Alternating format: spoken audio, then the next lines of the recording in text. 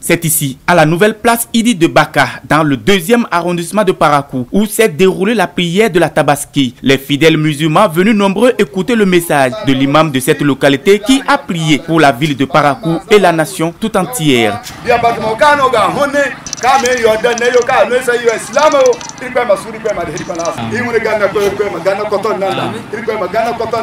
L'autorité communale sur les lieux a reçu la parole sainte de l'imam. Il a prié pour la paix dans ce pays.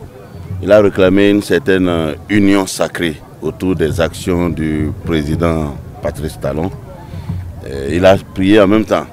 Il a supplié le président de pouvoir bitumer la route euh, Parakou, Nigeria, puisque le village dans lequel nous sommes, euh, Baka, est situé entre Parakou et le Nigeria. Verser du sang, c'est d'abord et avant tout conjurer le mauvais sort.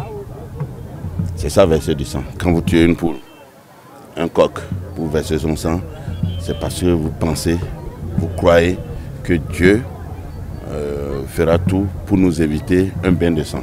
En bon père de famille, le maire Charles Toko a saisi l'occasion pour expliquer aux fidèles musulmans et aux paraquois le bien fondé des réformes en cours sur son territoire de compétences. Pour parler de conjurer le mauvais sort, j'aimerais revenir sur les réformes que nous avons entamées au niveau de Parakou.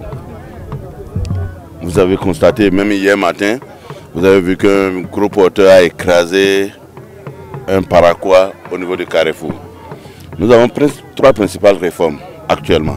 Le port de casque, la divagation des bêtes, des animaux euh, domestiques. Aujourd'hui, nous avons besoin que tous les Paraquois suivent nos réformes. Nous avons besoin de mettre l'accent sur la sécurité des Paraquois. Parakou sort de l'onière. Le maire de Parakou veut moderniser la ville. Toutes les cartes sont possibles pour ce combat. La deuxième réforme, c'est la circulation des gros porteurs. À partir de maintenant, nous allons réglementer cette circulation parce que nous ne pouvons pas être là à les regarder écraser tous les jours les Paraguas. Ce ne serait pas sérieux de notre part. La troisième réforme dont j'aimerais parler, c'est la divagation des animaux. J'ai entendu plusieurs critiques.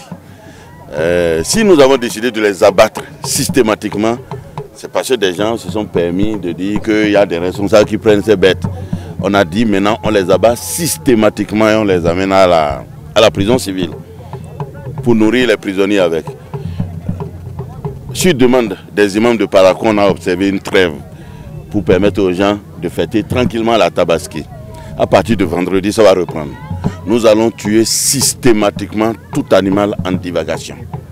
Tout animal rencontré dans les rues, de Parakou sera sans sommation abattu. Les réformes sont dures, mais il faut les faire Oui, les réformes appellent à des grincements de dents. Les autorités communales de Parakou comptent aller au bout de leurs idées, gage d'un développement harmonieux. La prière de Aïdel Kebir à Parakou dans une bonne ambiance.